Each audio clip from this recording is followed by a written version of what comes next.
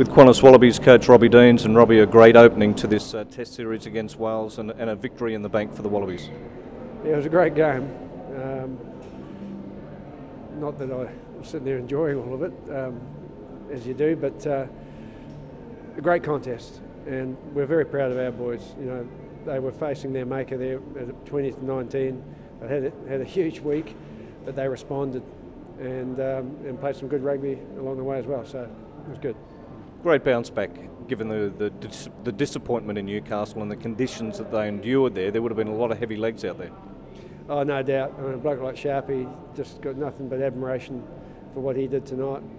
You know, he put in a huge effort on Tuesday and uh, put in again tonight. Uh, you know, he's he's still a young man. Man of the match, Will Genia. Uh, terrific performance from him. Yep.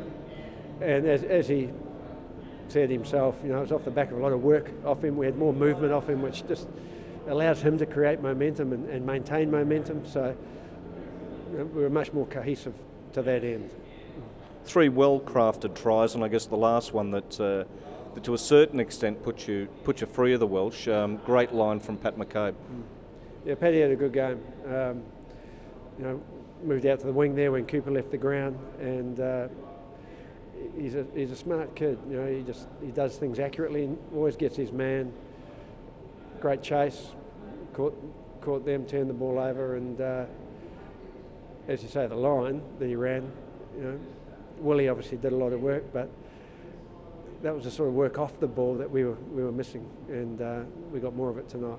Because you talk about that work off the ball, I mean, Digby Ioane running the, the decoy line that pulled two defenders to him and left the, the gate open for Will. Yeah, he met two defenders. I think he got cleaned up, but that's what you're going to do. Someone's going to do the yards. It's always you know the other bloke that gets the credit, but without the work off the ball, nothing happens. What about next week? I mean, that was a cracking opening to this Test series. Uh, it, will go up a level next week. Yeah, I've got no doubt. It'll be dry ball again.